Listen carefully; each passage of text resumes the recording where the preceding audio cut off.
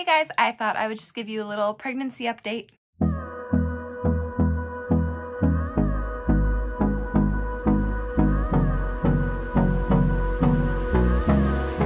Welcome back to Limabean Living. If you guys are new here, my name is Emily. Welcome to my little motherhood channel where I take care of all things mom. If you guys are not new here, sorry you have to hear that all the time.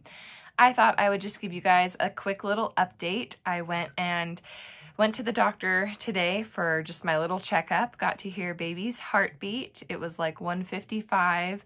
It was a little difficult for the doctor to like find like the best angle so that the heartbeat was nice and loud, but thankfully, thankfully, he found it. I was like my anxiety since I'm not on my medicine gives me like the worst thoughts. So the other day I just got eaten alive by mosquitoes and I'll show you a clip of like my back where it was bitten. It was really bad. It was like swollen and very itchy. And I was like, watch me get like malaria and my baby dies or something. So I was like very happy to hear the heartbeat and that it was nice and strong. So yeah, that was a worry that was checked off as don't worry about it anymore. And my next appointment is in less than a month, and that is going to be the anatomy scan at like the 20 week ish mark. So I'm excited for that. And that kind of leads me, you know, that was kind of just wrapping up my appointment. I had a question about like if I could use a certain product and the doctor said that was fine, which was, I'm thankful because I was not using it for a while with the thought that like I'm keeping my baby safe. So I'm glad that I can use this when needed. But that leads me kind of into my other portion of this update is how I am approaching this pregnancy differently and the same. So I just wanted to fill you guys in on some of those things. So as far as like approaching this pregnancy the same as when I was pregnant with Aubrey, I'm not taking my antidepressants just because I know that I feel like I don't want to look back and regret something like if the baby has a heart defect or I don't want to be questioning whether or not it was because of my medicine.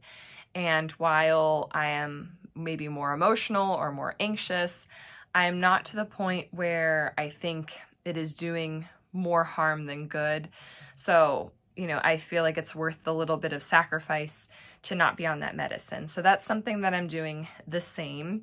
I'm also trying to listen to my body more when it comes to I need to rest. Like, let's take a nap and not get stuff done just because, you know, I know that in the future I won't be able to nap just whenever I can feel like it. And, you know, when Aubrey goes down for a nap, it's a nice long period of time that I can take advantage of. So I'm really trying to listen to my body, and that is something that I tried to do as well when I was pregnant with Aubrey. One of the other things that I've noticed is all kind of the same is my disinterest or I don't know, lack of craving for coffee.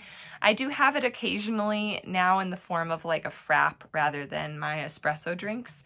And I do remember experiencing this when I was pregnant with Aubrey. When I was pregnant with Aubrey, I was finishing my dissertation. So I had gotten into a very bad habit of wanting coffee all the time. So from going from wanting coffee like every day to not really caring if I saw Starbucks or not as I was passing it was a big shift for me. And it was one that I was hoping that I would experience this time around because I had noticed that I've gotten in a bad habit of wanting coffee a lot, and that's a lot of money and a lot of calories, and just overall probably not the best for me. So that is one thing that I am thankful is the same this time around. And unfortunately, the other kind of thing that I've been doing the same is I was working out well at the beginning and now I've just kind of tapered off and been a lazy person. So I'm going to try to be different in the second half of my pregnancy and as I'm getting like the energy back, I'm going to try to get back into doing more exercise. I know that will be healthy for me and for the baby, so um, that's something that I'm currently doing the same, but I'm hoping to change up this pregnancy. The other major thing that I'm changing up this pregnancy is we will be planning on finding out the gender and I will be sharing a gender reveal with you guys. We're actually going to be doing two and I'll explain more when those videos air. But the reason for that is with Aubrey, we didn't find out. We had a sense that it was a girl, but like we, you know, we didn't know for sure until she was born. And it could be because of not finding out or because she was in the NICU and, you know, we had some separation there for a little while. I just felt like I didn't connect with her. I it felt like it took a really long time to feel connected with her. It wasn't that immediate bond that is often portrayed or shared by other, you know, moms' experiences, but I was just in the opposite group where I was just kind of like, there's a human here and I'm in charge of it. Like, I'm in charge of taking care of this human. So I'm hoping that finding out the gender this time with like half the pregnancy to go, that we'll be able to call baby by name and just kind of begin to create that bond with the baby, even though the baby is not out of my belly. So that is one major thing that we are definitely doing different.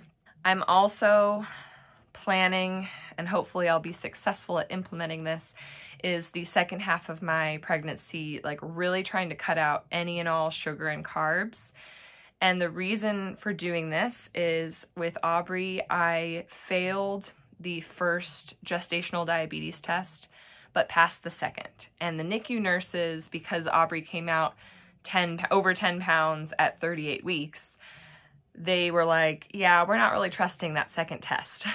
So i feel like if this time around if i don't pass the first gestational diabetes test and you know then we see that she's like the baby's measuring really big i said she but i don't know if it's a boy or girl. If the baby's measuring really big or looks like okay this little like a little bit further along than where we should be I think that by me limiting carbs and sugars, that will probably help with the baby not getting overly large and I will hopefully be able to have a successful VBAC.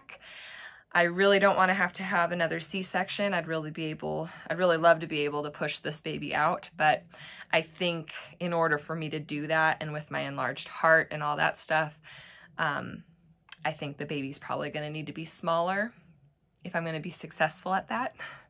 So yeah, definitely being extra cautious the second half. And that's not saying like I'm not being super, like, I'm not really being super cautious right now in the first half, but that's not, in my opinion, to my understanding, the uh, most important part of the like pregnancy when it comes to the gestational diabetes stuff. So it's not like I'm eating all unhealthy, but I'm just not restricting myself as much as I plan to. And I guess the other things that are different this time around, but I can't really, you know, I couldn't really control it, is I luckily haven't had any gallstone attacks. Uh, I had my gallbladder removed after Aubrey was born when she was about one because I had so many gallstone attacks um, both during my pregnancy and after. I thought the gallstone attacks were like the heartburn because for me it like happened in the center of my chest. So I was like, is this the heartburn everyone's talking about? Like it's horrible and I'm not experiencing any of that. I have like a 4% chance of getting gallstones without a gallbladder, but I'm hoping that that's not going to be me. and so, you know, that is going to be something that is different. And I'm thankful that I had it removed so that hopefully I won't have any like other symptoms like that again. And I'll have a better and a more enjoyable experience pregnant and when baby is born. And then looking back, my first pregnancy, I didn't know that I was going to have the enlarged heart, so we weren't meeting with a cardiologist or anything like that. But in my second half of the pregnancy, I will be meeting with a cardiologist to monitor my heart, see if it gets bigger, um, and you know whether or not it gets bigger. I have no control over that, and there's not a lot of research done on peripartum cardiomyopathy but we'll at least be looking out for it. And that will be something that is different this time around. So I think those are all of my like updates on what's staying the same, what's staying different. Uh, today, especially, I've been like laying here watching YouTube, editing a video, like thumbnail and stuff like that. And I've been feeling the baby like flutter a lot. And I am 16 weeks today. So I don't remember when I first felt Aubrey. I remember we were up in Washington, but I don't remember how far along I was. And, um, you know, I'm excited to hopefully, I feel like it, it kind of feels like it's more inside, but maybe it's getting to the verge where someone on the outside can feel the kick soon. So I'm excited about that and letting Juan and Aubrey and any other family members who want to feel the baby kick feel the baby kick. But I just want to thank you guys for kind of checking in and seeing how I'm doing if you guys are watching this. If you're watching this for the first time, I have other videos on me finding out that I'm pregnant and um, kind of like the ultrasound pictures and stuff like that for you to check out, along with tons of other stuff. I like to take care of a variety of topics and um, I hope that you find something on my channel that you enjoy watching as well. Don't forget to hit that subscribe button if you guys are new and that like button if you guys enjoyed this video or just want to support this channel. It really helps me out and I will catch you guys in the next one. Woohoo! You've made it to the end of the video. If you didn't know already, every Monday and Friday you can find motherhood and lifestyle content on this channel. And since us moms have to do it all, that may mean yummy recipes, easy DIYs, mom hacks, cleaning and organization, or just a combo of everything. Please know that you are loved and you are made for greatness, and I will catch you in the next one.